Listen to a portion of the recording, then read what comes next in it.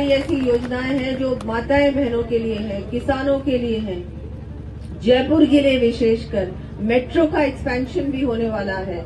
Hi tech city बनने वाली है जयपुर के आसपास। ओलंपिक्स को भी बढ़ावा हम लोग देंगे। किसान सम्मान निधि भी बढ़ाई गई है।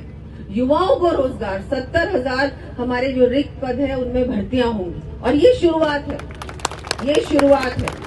अभी तो बहुत कुछ बाकी है। अभी तो बजट आएगा जुलाई जुलाई में पूरा बजट अभी तो उसमें तो आप लोग देखिएगा क्या क्या आता है। टाइटल आया जोरदार तालियाँ। अभी तो हाँ बिल्कुल अभी तो ट्रेलर है।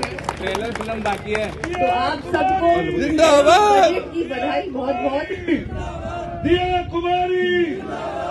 हमारे हमारा जो आज ये काम हुआ है ये जैसा कि अभी मुझसे पहले सभी वक्ताओं ने आपको बताया कि अपना जो ये अपनी बिसलपुर परियोजना है इसमें हमारे इस बार तो अभी अपने शायद दो टंकियाँ रह गई हैं। हाँ। लग छह टंकियों का तो शिलान्यास हो चुका। है और वो दो टंकियाँ रह गई हैं उनका भी शिलान्यास बहुत जल्दी होने वाला है।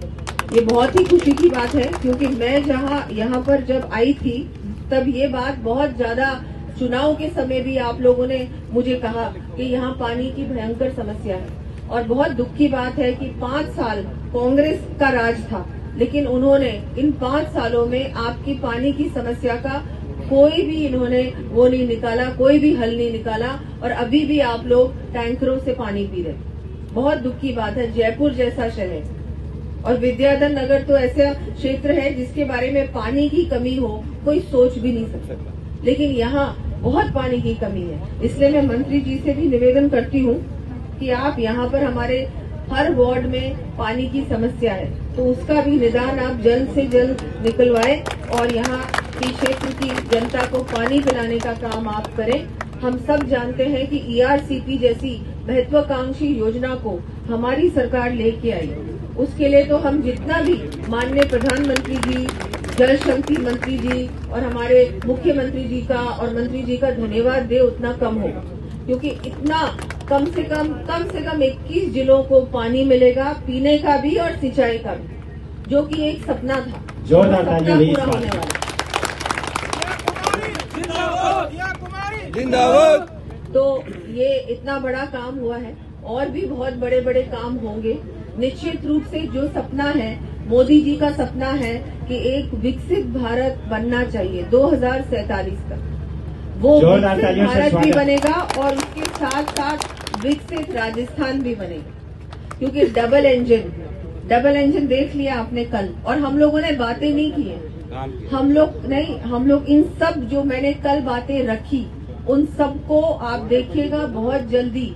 हमारा अभी तो आचार संहिता लग जाएगी उससे पहले ही उन पे काम शुरू हो जाएगा। जो भी टेक्निकल काम है फाइलें चलाने का काम है सब हो जाएगा। जैसी आचार संहिता हटेगी उस समय सब कुछ हम लोग धरातल पे उतारने का काम करेंगे। तो ये ये सब है और ऐसी कोई बात नहीं कही है जो हम लोग नहीं करें।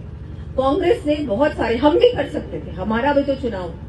क्या लोकसभा चुनाव नहीं है? वो भी तो है। लेकिन ऐसा कुछ भी नहीं बोला ऐसा कुछ भी नहीं बोला कि हम जो पूरा नहीं कर सकते। या कोई भी झूठी घोषणा या कोई भी ऐसी बात कि फ्री में ये दे देंगे फ्री में वो दे देंगे। अरे भाई, राजस्थान की जनता, स्वाभिमानी जनता है, स्वाभिमानी लोग हैं। ये फ्री में कुछ नहीं चाहते।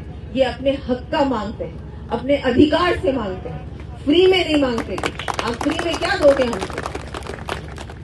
तो इसलिए कांग्रेस को तो आप लोगों को बिल्कुल भी, मैं पिछली बार भी कहा, अभी भी कहा, कि इनके कार्यकर्ता को, इनके नेताओं को आपको घुसने नहीं देना चाहिए। इन्होंने सिर्फ़ लूटा है लूटा है।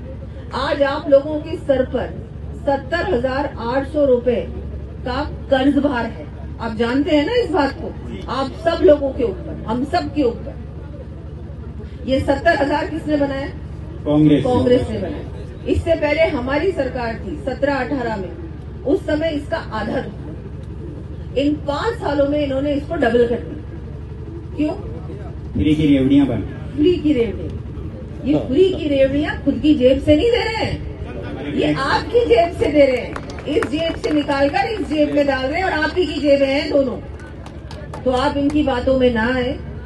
एक मोदी सरकार को अब हमको दोबारा लाना है केंद्र में लाने का काम। राजस्थान में तो आप लेके आ गए। लेकिन अब हमारा महत्वपूर्ण चुनाव सर पर है।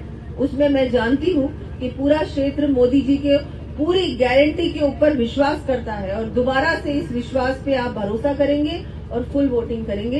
आज इस कार्यक्रम के लिए मैं सभी का आभार व्यक्त करती हूँ धन्यवाद देती हूँ। आप लोगों के बीच आने का अब मैं आती रहूँगी। बीच में क्योंकि बजट की तैयारी थी तो सब लोग व्यस्त थे विशेषकर मैं। लेकिन अब आप लोगों के बीच तो घर पे ही है तो आते रहती हूँ मैं। कुछ शादियों में से वार्ड नंबर एक में तो गोद लिया हुआ है। वो ले- हो ही गया अब क्योंकि सबसे ज़्यादा मैं इसी वार्ड में आई। जिंदाबाद। जिंदाबाद। और आप देखिए सबसे पिछड़ा यही क्षेत्र है।